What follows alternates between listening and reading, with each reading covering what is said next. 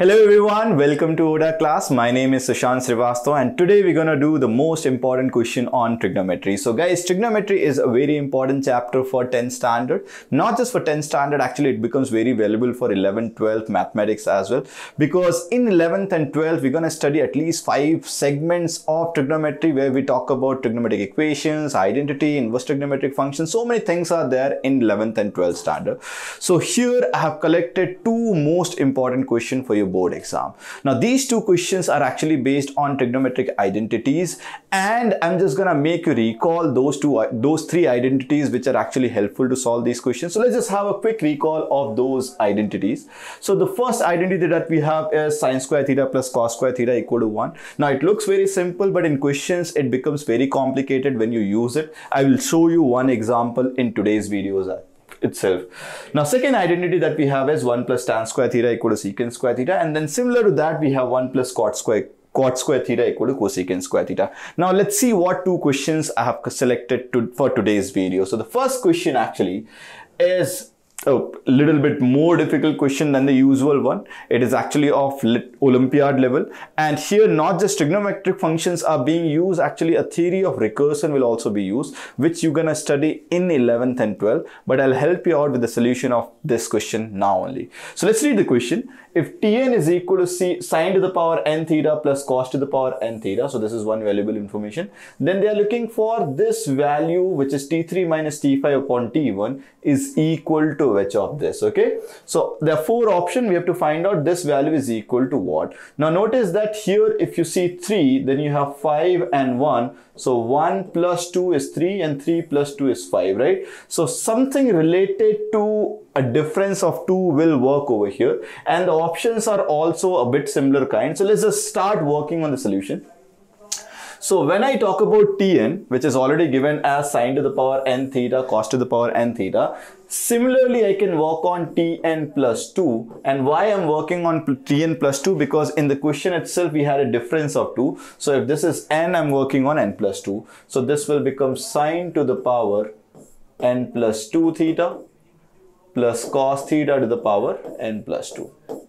Now similarly, I can work on Tn plus 4 as well and that will be sine theta to the power n plus 4 plus cos theta to the power n plus 4. Now guys, they are looking for difference of T3 and T5. So that is difference of uh, successive at a difference of 2 and subtraction of these two. So here I'm gonna do the same. I'm gonna take the difference of these two. So you get Tn plus 2 minus Tn plus 4 as, so if I subtract, so you get sine theta to the power n plus 2 as it is. Similarly, cos theta to the power n plus 2.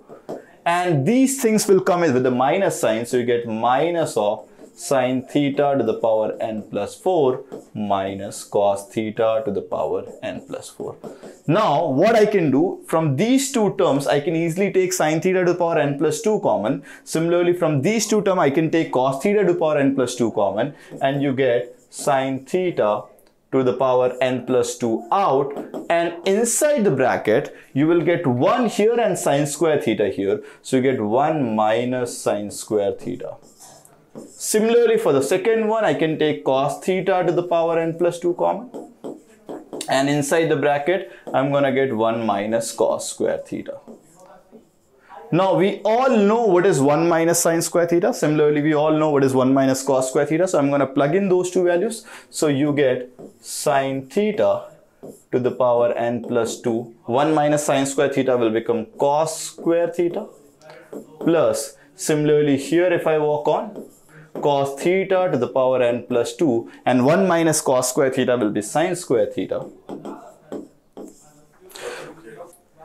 Now, from these two terms, I can take sine square theta and cos square theta common. So this will get you sine square theta cos square theta out and you will be left with sine theta to the power n plus cos theta to the power n. Now guys, in the question itself, it was given sine to the power n theta or sine theta to the power n plus cos theta to the power n as tn. So you get this quantity as tn, which I'm gonna write over here. So you get tn, my, tn plus 2 minus tn plus 4 as sine square theta into cos square theta into tn. Now this Tn I can bring down and why I'm doing this because one side everything depends on n and the other side it will be free of n. So this will give us some useful information. Let me do that. So you get Tn plus 2 minus Tn plus 4 upon Tn is equal to sine square theta cos square theta. So as I was saying, the side, there is no n involved. So even if I change n value, this side will remain same. That is, if I substitute n equal to 1, you get t3 minus t5 upon t1 as sine theta cos theta whole square.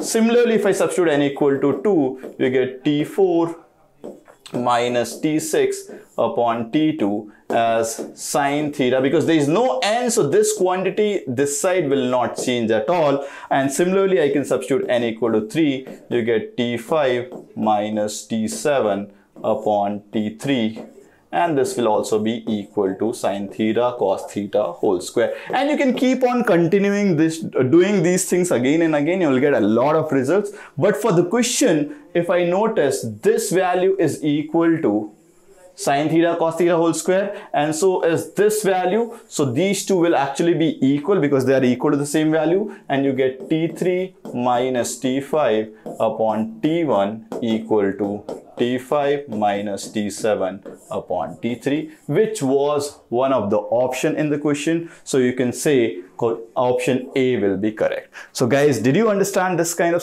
question? And this was actually a very difficult question. This can be there in any of the Olympiad and you can easily solve with the given method. If you have any doubt, you can always put it in the comment box. I'm going to move on to the next question. So the, for the next question, I have collected a very usual question which appears again and again in the board exam where they talk about sine theta plus cos theta as one value and then sine cube theta plus cos cube theta as another value. They talk about the relation between these two. They might give you sine to the power 4 theta plus cos to the power 4 theta and then they talk about the relation between variable. So here I have selected sine theta plus cos theta is P, secant theta plus cosecant theta is Q, and then you need to develop a relation between P and Q. So what you can do, you can work on each and every, both of us, uh, both of these two one by one. So we're gonna work secant theta plus cos theta as Q given. So let's convert this in 1 by sine and 1 by cos. So you get 1 by cos theta plus 1 by sine theta as q. Now if I take LCM, what do you get? You get sine theta plus cos theta upon sine theta into cos theta as q. Now guys, sine theta plus cos theta is already given as p, so I can substitute that and you get p upon sine theta cos theta as q or you could write sine theta into cos theta as p by q. Now this is one information that we have gained from this equation. Now similarly what I'm going to do, I'm going to work on this part now. So this is sine theta plus cos theta which is given as p. Now we all know there is one famous identity which involves sine square theta and cos square theta. But in this expression we just have sine theta and cos theta. So to use that identity I'm going to square both sides. So when you do that you get a plus b whole square which will become a square plus b square plus 2ab and the other side it will be p square.